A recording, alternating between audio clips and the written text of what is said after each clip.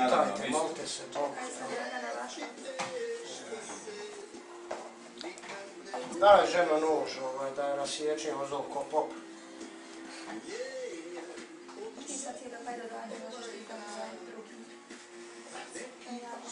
Šta ćemo mi?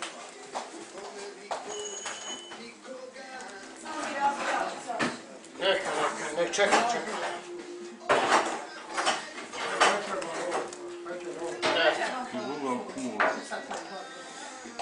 수요.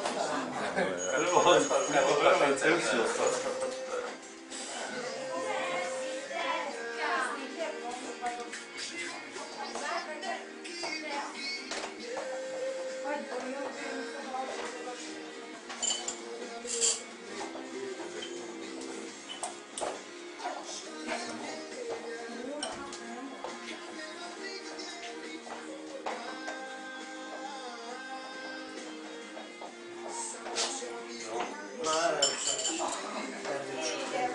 Sad.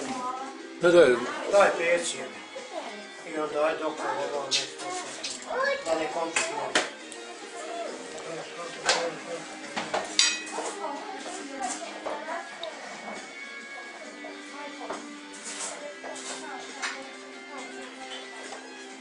Daj Dragana. Dragana.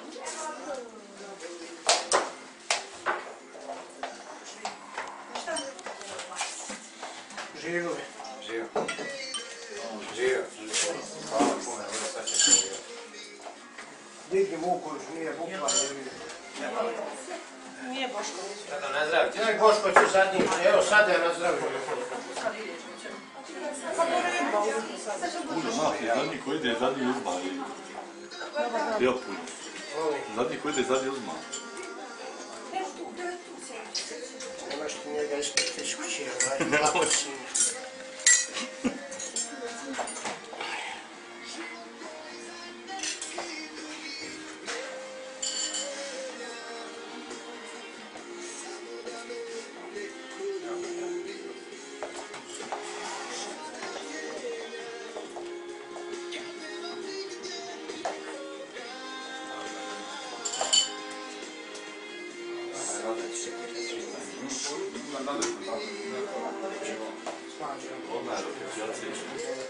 Dobra, kiepiacy. Takie buczeczek.